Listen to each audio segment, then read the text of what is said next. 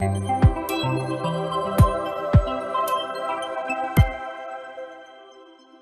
IVF से होने वाला मेरा बच्चा नेचुरल कंसेप्शन से होने वाले बच्चों से अलग होगा? क्या वो मेंटली या फिजिकली किसी तरह से कमज़ोर होगा? क्या उसमें एबनॉर्मलिटीज के चांसेस ज़्यादा रहेंगे? इसका जवाब देने के पहले I will tell you a fact first baby जो आईवीएफ से कंसीव हुई थी, आज वो एक 40 साल से ऊपर की महिला है। बिल्कुल ही हेल्दी लाइफ जी रही हैं और नेचुरली कंसीव करके उनके अपने बच्चे भी हैं। आज की डेट में लगभग छः से आठ मिलियन बेबीज आईवीएफ ने प्रोड्यूस किए हैं और बहुत सारी स्टडीज़ के बाद भी ऐसा कोई प्रमाण नहीं मिला कि आईवीएफ बेबीज नेचुरल बेबीज से अलग हैं या उनमें कोई डिफेक्ट आने के चांसेस हैं।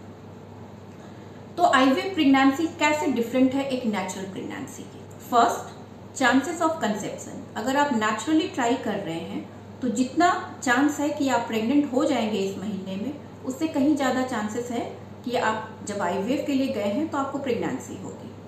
सेकेंड आईवीएफ प्रेगनेंसी में मल्टीपल प्रेगनेंसी यानी ट्विंस होने के चांसेस ज़्यादा होते हैं. अगर नेचुरल प्रेगनेंसी में ये चांस छः परसेंट है तो आईवीएफ कंसेप्शन में ट्वेंटी फाइव परसेंट है। ऐसा इसलिए है कि फर्टिलिटी रेट को बढ़ाने के लिए कई बार हम एक की जगह पे दो या तीन इम्ब्रियो ट्रांसफ़र करते हैं। But with passing time we all are shifting to single embryo transfer और अगर आप ट्विंस बिल्कुल अवॉइड करना चाहते हैं तो आप ये अपने डॉक्टर को बता सकते हैं कि आप चाहते हैं कि इम्ब्रियो ट्रांसफ़र सिंगल ही किया जाए। Third first three months of pregnancy आपके नेचुरल कंसेप्शन वाली प्रेगनेंसी से ज़रूर अलग होती है। इसमें आपको इंटेंसिव देखभाल की ज़रूरत है, ज़्यादा फ्रिक्वेंट मॉनिटरिंग की ज़रूरत है और दवाइयाँ आपके लिए ज़्यादा इंपॉर्टेंट हैं as compare to natural pregnancy क्योंकि जब आप नेचुरल कंसीव कर रहे हैं तो आपकी बॉडी में कॉर्पस ल्यूटियम है हार्मोनल प्रोडक्शन इस तरह का है कि वो नेचुरली उस प्रेगनेंसी को थ्राइव कर सकता है। बट इन आईवे प्रेगनेंसी हमें बाहर से हार्मोनल इंजेक्शन या हार्मोनल मेडिसिन देने की ज़रूरत होती है, इसको हम अवॉइड नहीं कर सकते। लेकिन पहली तिमाही के बाद जब प्लेसेंटा काम करना शुरू कर देता है, उसके बाद नेचुरल प्रेगनेंसी और एक आईवी प्रेगनेंसी में कुछ खास अंतर नहीं रह जाता। अब बात करें कुछ मिथ्स की। ऐसा मानना है बहुत लोगों का कि अगर मैं आईवीएफ द्वारा प्रेग्नेंट हुई हूँ तो मुझे नौ महीने बेड रेस्ट में रहता है। ऐसा बिल्कुल नहीं है। आप बिल्कुल अपने दिनचर्या के काम कर सकती हैं। आप वो सारे काम कर सकती हैं जो एक नेचुरल कंसेप्शन से प्रेग्नेंट हुई औरत कर सकती है। सेकेंडली बच्चे को एनॉमलीज होने के चांसेस ज़्यादा हैं क्योंकि ये आईवीएफ से पैदा होने वाला है। ऐसा भी बिल्कुल नहीं है। आई आईवीएफ कंसेप्शन और नेचुरल कंसेप्शन में कंजेनाइटल एनॉमलीज का जो अंतर पाया गया है वो बेसिकली इसलिए है कि महिलाएँ अलग हैं।